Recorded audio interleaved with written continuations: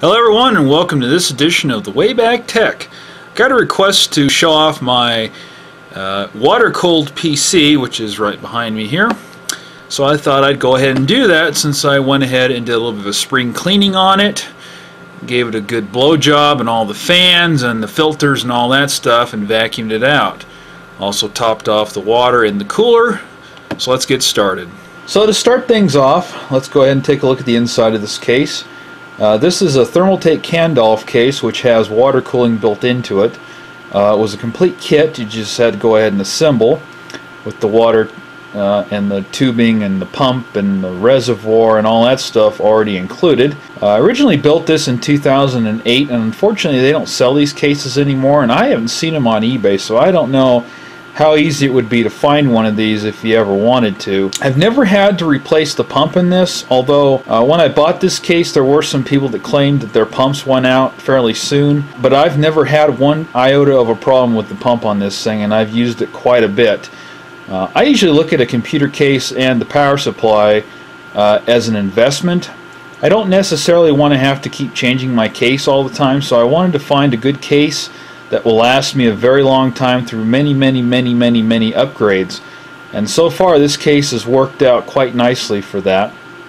Uh, I originally built this case with the P5E motherboard and the Xeon uh, 3220 processor and 4 gig of RAM.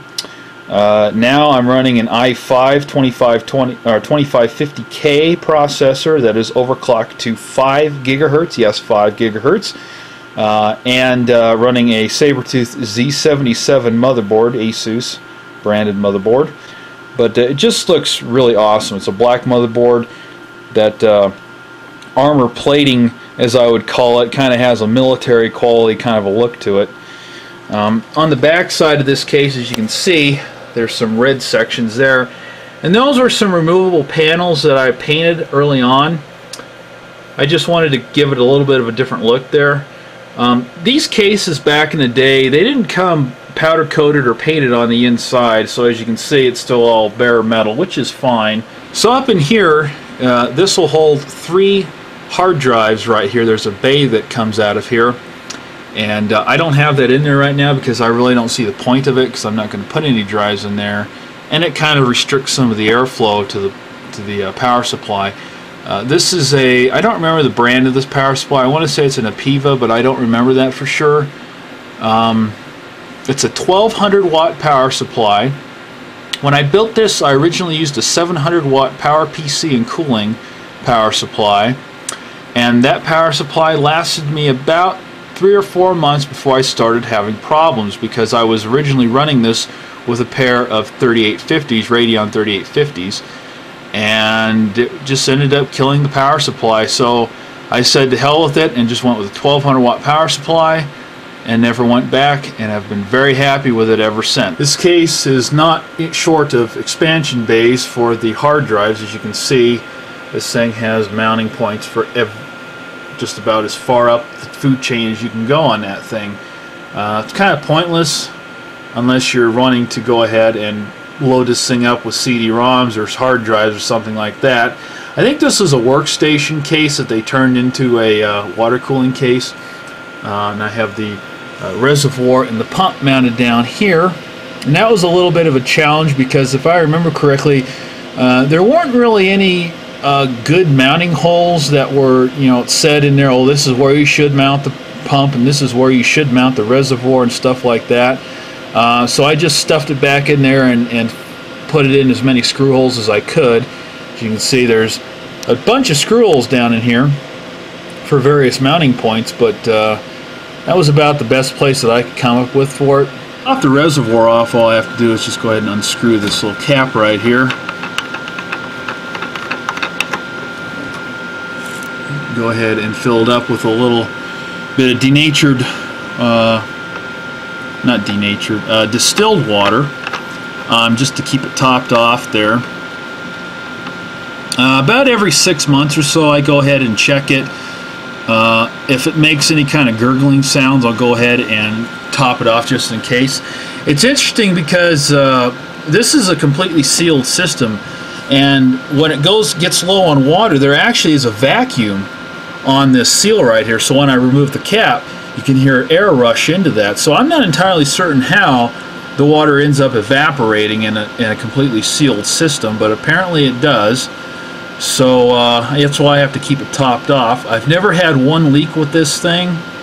It's just been chugging along just the way it should be. You can see these very nice fittings right here that are compression fittings. So you put the hose in there and it's got a little compression uh, sleeve in there so you just tighten it down and it seals everything up.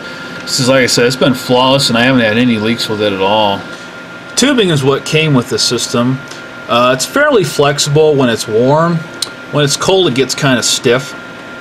Uh, and liquid that came with the Thermaltake case uh, does glow with the uh, black lights, which I have two of them in this system. Uh, you can see one right behind there. The reason it's behind there is because I used to have it mounted right here and the velcro that was stuck to the side the light side itself had come unglued.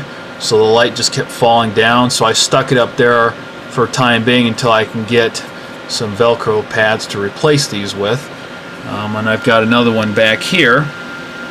But these actually even even with their position these these uh, tubes actually glow pretty well. It's getting dark here soon so I'll do a night shot of this once it does get dark that you see these tubes glowing.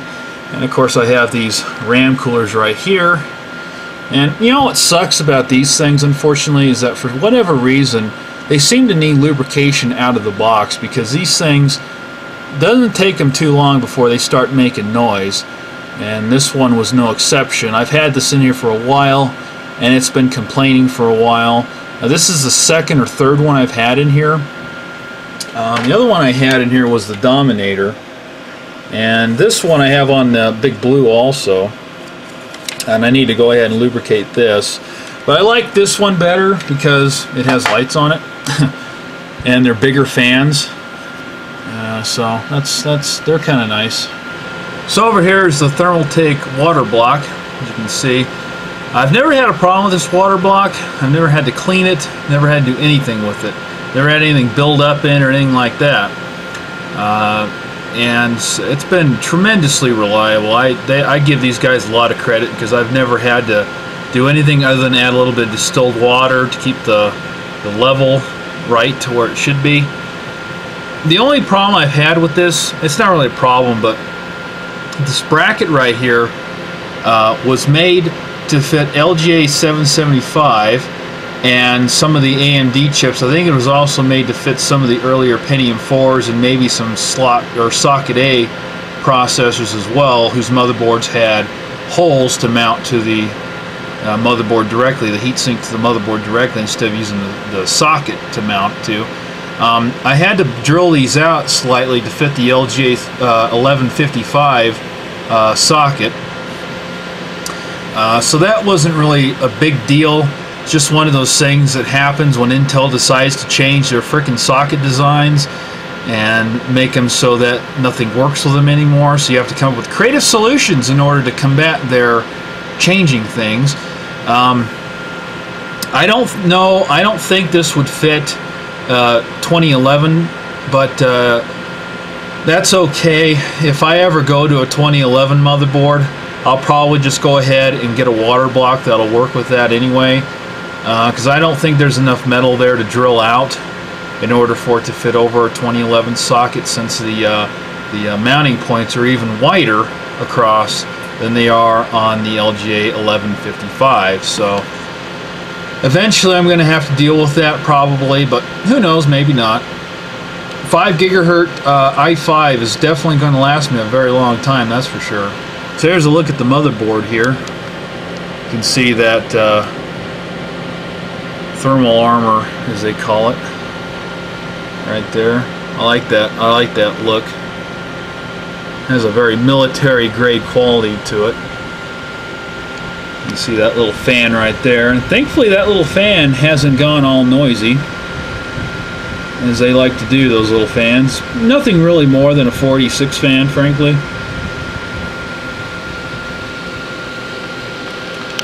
You see the Asus name rocking itself out there. If there's any real weak point to my system here, it's the fact that I'm still rocking the Radeon 6770 video card. I really need to upgrade this, but for right now it still suits me just fine. So let's go ahead and uh, move to the front of this case. So here's the front door on this case.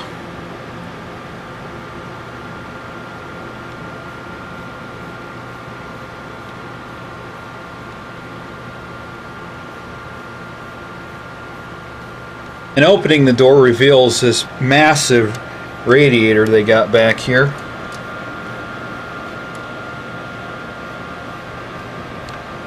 And each one of these sections is a 120 millimeter fan that's mounted down in there.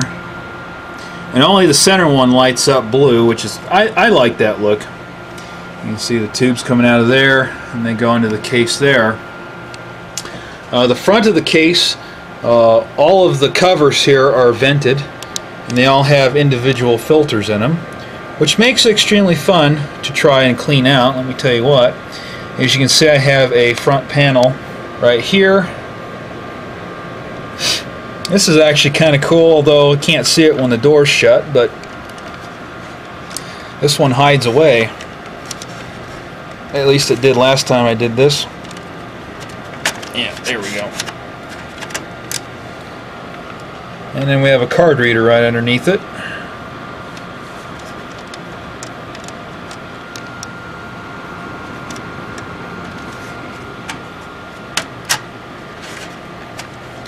Wish it was motorized, but that's okay.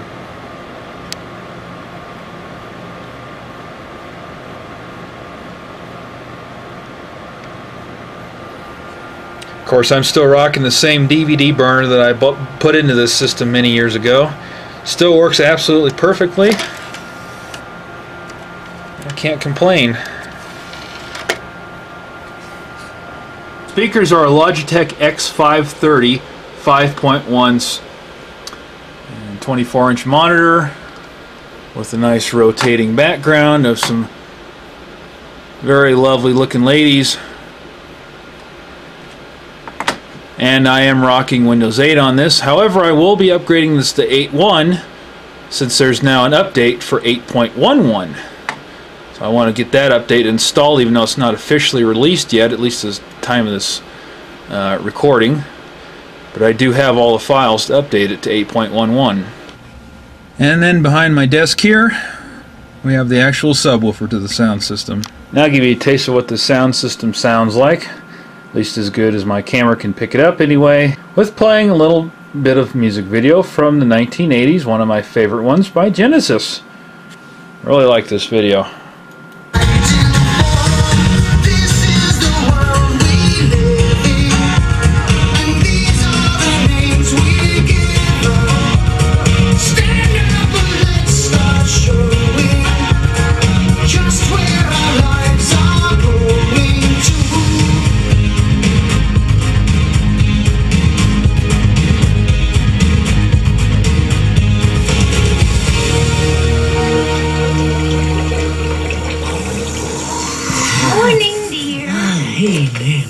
Terrible dream. I am parched. That's better. I could use another one of those.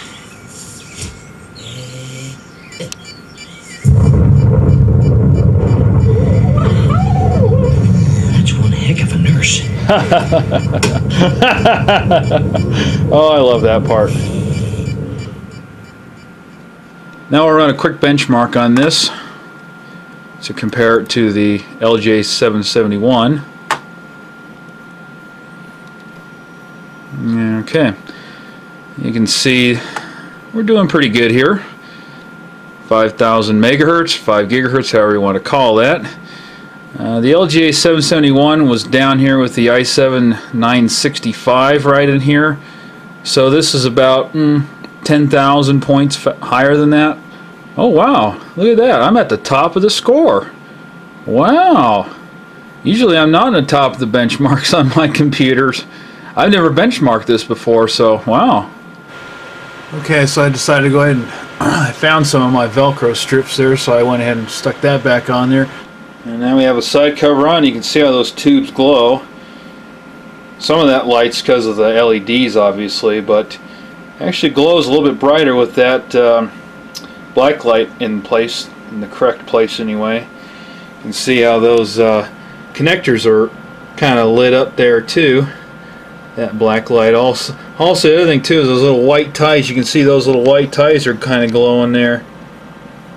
Because that black light right there. It's kind of funny how the black light looks blue in the camera.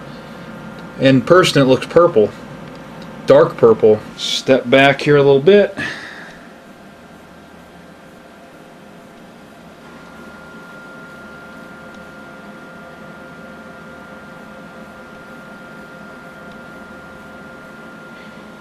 And my name for this computer is Black Beauty. Thanks everyone for liking, commenting, subscribing, and sharing all of my videos. Peace out.